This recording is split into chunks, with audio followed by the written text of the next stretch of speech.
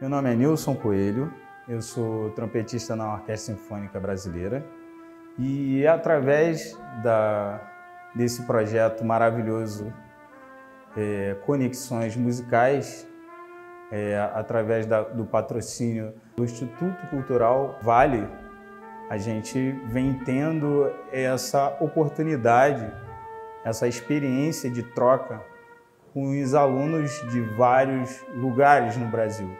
E hoje a gente está aqui no Moinho Cultural, aqui em Corumbá, onde está sendo uma experiência é, única, porque cada projeto é único, tem suas peculiaridades.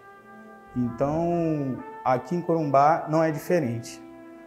Os alunos são muito, muito dedicados, esforçados e nota-se que todos têm é, talento e que com um pouco mais de, de, de informações, o céu é o limite para essa criançada, né?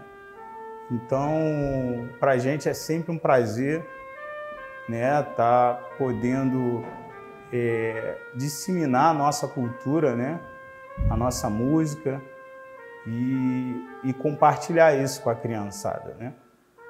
Eu acho que é isso é, é, é muito importante para a nossa vivência, né, essa troca.